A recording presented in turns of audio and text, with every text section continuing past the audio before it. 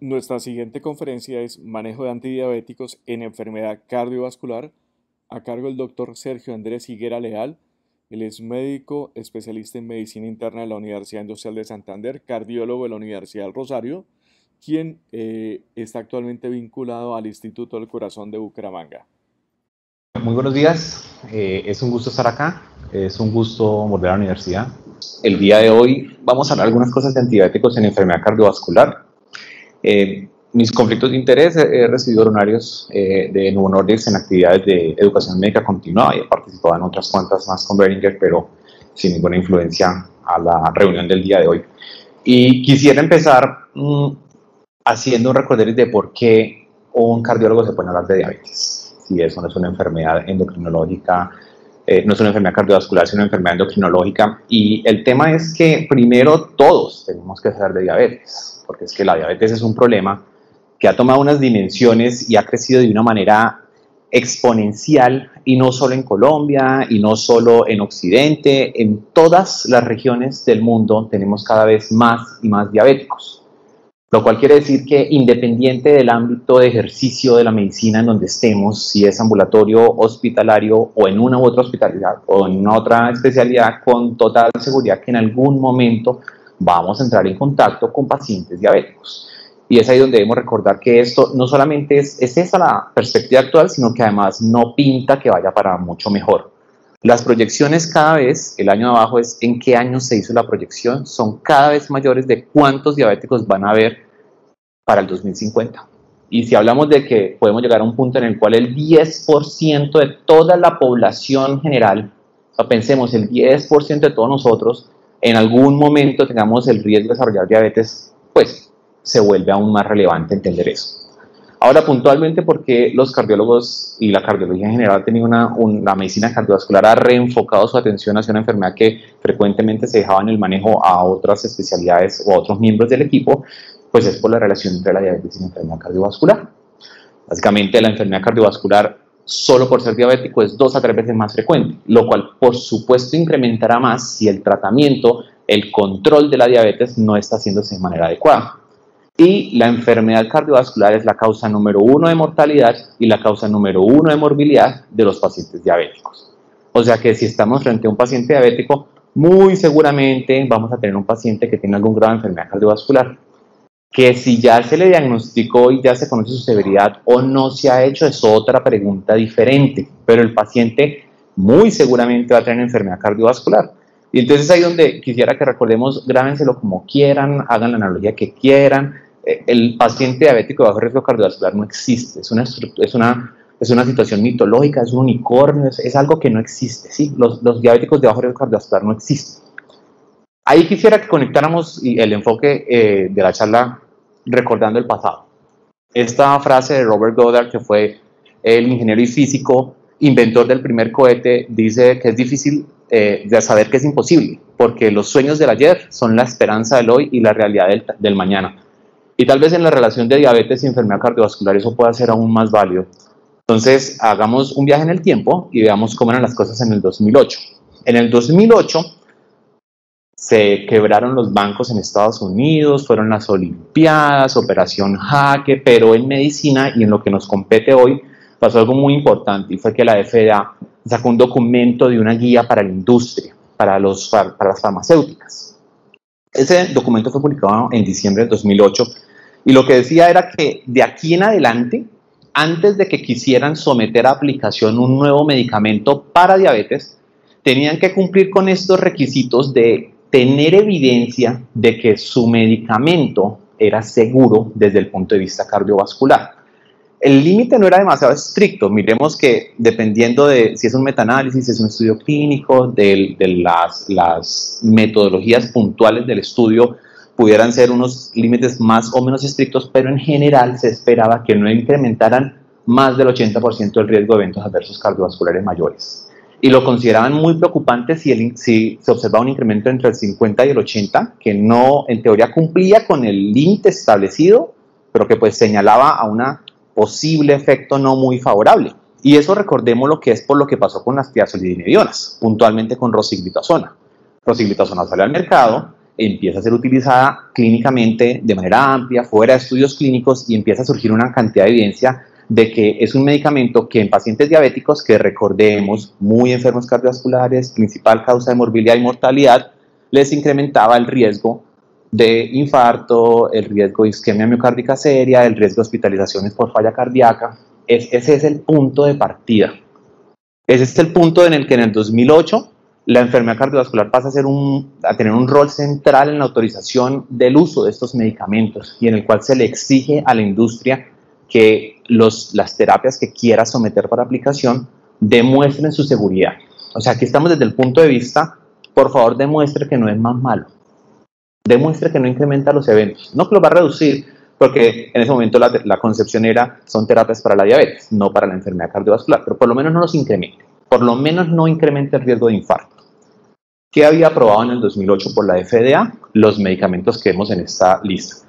Que si lo pensamos a lo que hoy en día utilizamos en manejo de diabetes, a lo que utilizan ustedes en sus eh, prácticas clínicas, de pronto algunas, pero no todo de lo que hay es lo que realmente estamos utilizando. Esto quiere decir que esos nuevos medicamentos que hemos venido eh, incluyendo en nuestro arsenal son o entran a la práctica después de esta guía para la industria de la FDA de diciembre del 2008. Es decir, que tuvieron que someterse a esas reglas. Hubo unos primeros estudios que se publicaron, sobre todo con algunos inhibidores de EPP4, en los cuales cumplieron el objetivo, demostraron que no eran peores. Pero hay un gran cambio en el 2015 cuando se publican los resultados o se presentan los resultados del EMPAREC Outcome. Entonces recordemos, EMPAREC Outcome fue es el estudio que se hizo para demostrar eso que exigía la FDA, demuestre que usted no es peor, demuestre que usted no incrementa eventos. Entonces, ¿qué hicieron? Tomaron pacientes diabéticos con o sin tratamiento previo, dependiendo de eso habían algunas consideraciones de cuál era el límite de glicosilada, que si tenían antecedentes de enfermedad establecida, eh, de eventos clínicos o sencillamente de un diagnóstico de enfermedad estable aterosclerótica en diversos territorios. Eran pacientes de alto riesgo, eran diabéticos, que solo por ser diabéticos tienen alto riesgo, pero además ya con alguna evidencia de la enfermedad cardiovascular establecida. Y a estos pacientes se les aleatorizó a darles 10, 25 miligramos de empaglifosina o darles placebo. El desenlace, lo que les exigía la FDA en ese momento.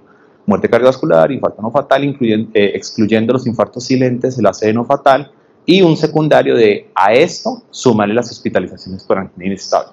¿Y qué pasó con el EMPAREC Outcome? Un poco para la sorpresa de algunas de las personas eh, que hacían el seguimiento de esta saga post-2008 de nuevos antidiabéticos, no solamente demostró ser seguro que era el objetivo inicial del estudio y lo cumplieron, sino que además mostraron que el medicamento tenía una reducción del desenlace primario, una reducción del 14% en ese desenlace primario que comentamos. Y cuando se desagregaba, se observaba que la mortalidad total, la hospitalización por falla cardíaca, la muerte de origen cardiovascular eran las que estaban empujando ese resultado.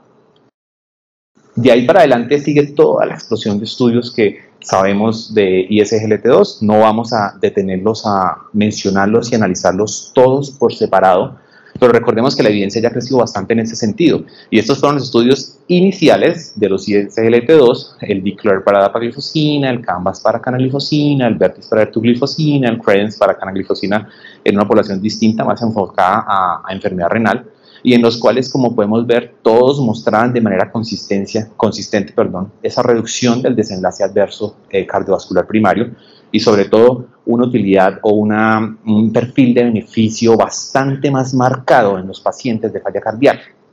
Entonces, ahí viene otro cambio de paradigma. Entonces, ya no estamos hablando de que demuestre que usted no es peor, usted puede incrementar un 30% el riesgo de eventos adversos cardiovasculares primarios y cumple con la regla de FDA el medicamento es aprobado, puede ser comercializado, lo pueden recibir diabéticos. Aquí es todo lo contrario, aquí ya ni siquiera es no los incremente, incrementos muy pocos, sino logra hacer una reducción. Y cambiamos un poco el enfoque de estos pacientes y empieza esa exploración de cuáles pueden ser las bases mecanísticas de que un medicamento que se desarrolla para la diabetes tenga un efecto sobre la enfermedad cardiovascular. Pues recordemos, los inhibidores del SGLT2 no solamente son medicamentos antidiabéticos, sino que tienen otra serie de efectos fuera directamente del control cardiovascular de, la diabetes, aunque también contribuye a eso, pero que además tienen un efecto que desde el punto de vista cardiovascular y renal es bastante favorable. Los cambios de cómo es el comportamiento o el funcionamiento renal, los cambios del metabolismo directamente a nivel del corazón, algunos cambios en la constitución, en la, circulación, en la distribución de líquidos, los cambios en el contenido corporal de sodio. E, esas cosas terminan siendo lo que explican por qué los pacientes con estos medicamentos tienen o muestran un beneficio cardiovascular. Es ahí donde pasemos nuevamente a otro estudio de primero que demostró el primero que demostró que esto no solamente era para diabéticos, y es ahí donde migramos al DAPA-HF. Recordemos DAPA-HF, eh, presentado en 2019, es un estudio en el cual se probó el uso de dapaglifosina ya no para pacientes antidiabéticos y ya no como un requisito para su aprobación de demostrar que es seguro cardiovascular, sino buscando demostrar que diabetes o no diabetes se da un beneficio en reducción de eventos en el manejo de los pacientes con falla cardíaca. Aquí démonos cuenta que los criterios de inclusión van muy orientados a ese diagnóstico de falla cardíaca con fracción de eyección reducida. Claro, hay una estratificación de la lateralización según si los pacientes son diabéticos o no, porque pues puede ser un modificador del efecto y esto es evidencia preliminar en su momento, era la primera vez que se estudiaba. Entonces, eso fue parte de lo que se contempló, desde luego que tiene una terapia estándar para falla cardíaca. Recordemos que la terapia para diabetes podía modificarse durante el estudio, porque esto se estaba utilizando no como un medicamento para la diabetes, sino como un medicamento para la reducción de eventos cardiovasculares en estos pacientes. Y es ahí donde ese desenlace primario pues va dirigido a eso, descompensación de falla cardíaca, muerte de origen cardiovascular y en el secundario una, una expansión a varios componentes más de la valoración del paciente desde el punto de vista cardiovascular, por ejemplo, tema funcional, la parte de la afectación a, nivel renal. ¿Y qué pasó en el DAPA-HF? Pues alcanzamos el objetivo. Se encontró una reducción del 26% en ese desenlace primario. Eh, empujado sobre todo por la reducción de la hospitalización por falla cardíaca, 30%, aunque no es nada especial una reducción del 17% significativa de la mortalidad total. Entonces, ¿qué pasa con, DAP, con DAPA-HF? Recordemos a 2008, o sea, estamos migrando al lado completamente opuesto de la moneda, la cara completamente opuesta, ya no es una terapia antidiabética que me eleva los eventos, sino por el contrario que me los reduce y que de hecho su efecto en hacerlo es independiente de la diabetes. Y eso fue uno de los análisis de subgrupos de ese estudio, cómo el desenlace primario se comportaba en todos los pacientes con o sin diabetes al inicio del estudio y el comportamiento era igual. O sea que mostrábamos que el beneficio era realmente asociado al medicamento y realmente al paciente con falla cardíaca, no solamente al, al paciente, al subgrupo de los pacientes diabéticos. Ya que han venido más estudios también, no los vamos a, discutir todos, pero sencillamente recordemos que las guías en la actualidad, la europea del 2021 en falla cardíaca reducida, las, eh, los de falla cardíaca americanas de 2022, eh, nos recomiendan que los inhibidores del SGLT2 tienen un rol en el manejo de los pacientes con falla cardíaca. Como parte de los cuatro fantásticos en, las, en el manejo de la falla cardíaca reducida, y como las terapias que de las pocas terapias que tienen estudios con eh, evidencia en reducción de eventos eh, en pacientes con falla cardíaca con fracción de eyección preservada. Ahora, si estamos hablando de antidiabéticos y de la enfermedad cardiovascular, a esta historia le falta una parte, y es la parte que arranca con este animalito, que es el monstruo de Gila. El monstruo de Gila es un reptil que vive en el valle del río Gila, en Arizona. Es un reptil venenoso, pero que es muy lento y que el 95% de su vida la vive bajo tierra. Entonces, usualmente para los humanos no es muy peligroso. Incluso si los llega a morder, pues es una mordedura dolorosa y ya. El tema con el monstruo de Gila es que en su saliva produce una sustancia particular a él, que no se produce en ningún otro sitio, que es la exandina 4, y que hoy en día sabemos que tiene un, un efecto agonista en los receptores del péptido similar al glucagón 1, un agonista de receptor GLP-1, y es la versión sintética de laboratorio, la exenatide, que fue el primer GLP-1 aprobado. Recuérdense la listica de medicamentos que en el 2008, cuando la FDA da su nueva guía de cómo se estudian antidiabéticos, era el único GLP-1 que estaba aprobado en ese momento, que era el Bayeta, el, el Exenatide. Entonces, de aquí en adelante, los siguientes medicamentos agonistas de receptores GLP-1 tendrán que demostrar seguridad cardiovascular, como Exenatide en su momento no lo tuvo que hacer para recibir aprobación. Lo mismo, primeros estudios, seguridad, no incremento de eventos, pero el cambio se produce cuando en el 2016 se presentan los resultados del líder, que fue el estudio con liraglutid.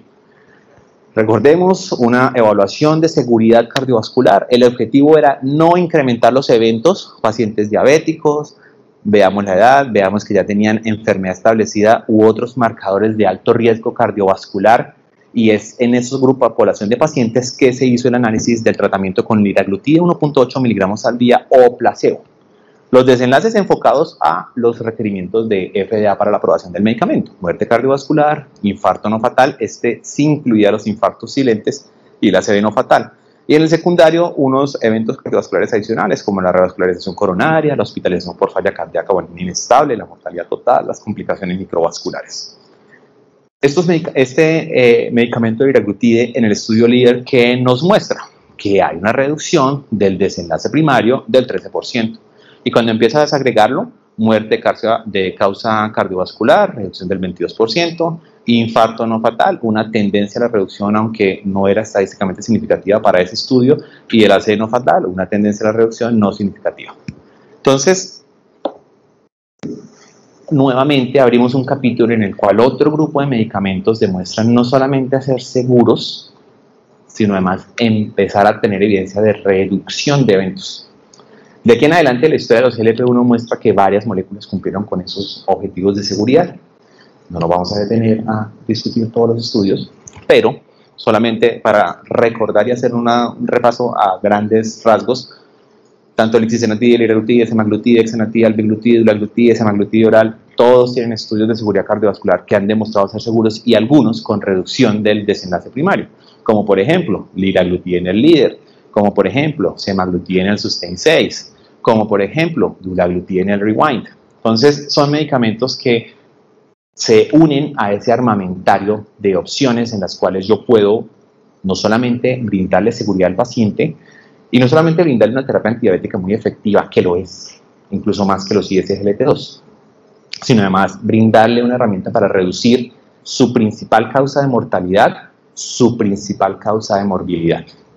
¿Por qué ocurre eso? Bueno, pues por varias cosas. Primero, hay unos receptores del GLP-1, principalmente en la aurícula, en el corazón, alguna densidad no muy bien establecida con total seguridad al nivel vascular periférico, pero que solo por ese efecto genera cambios en el comportamiento, en el funcionamiento del corazón y la vasculatura.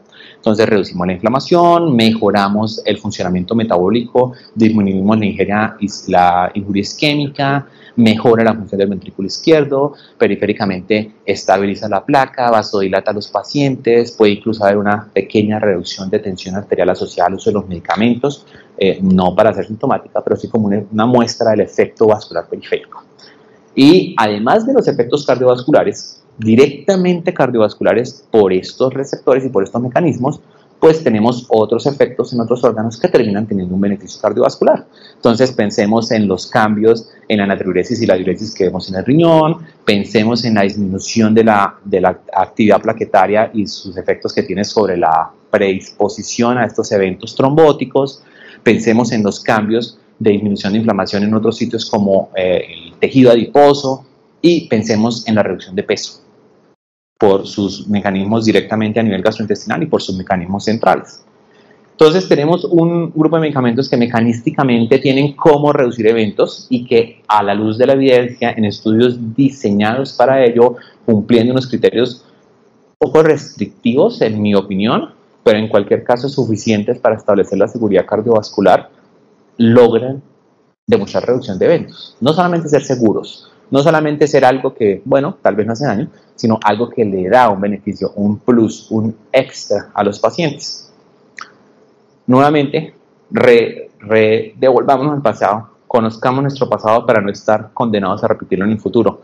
Este era el esquema de tratamiento en el 2008 entonces yo diagnosticaba al paciente, le hacía intervenciones de estilo de vida, le ponía metformina y según la glicada, un enfoque totalmente centrado a algunos parámetros de control de la diabetes, pues yo iba escogiendo qué le agregaba. Entonces le ponía una glitazona, insulina basal, sulfonilurias, piense si el paciente se inyecta, si tiene recursos, es más costoso, es más barato, y todo iba reducido y todo iba enfocado a unas metas de tratamiento que si hoy las evaluáramos, si hoy yo tuviera un paciente diabético cardiovascular con estas metas o incluso con la meta más estricta del EDL70 que decía que era una opción en su momento, pues yo no estaría a gusto.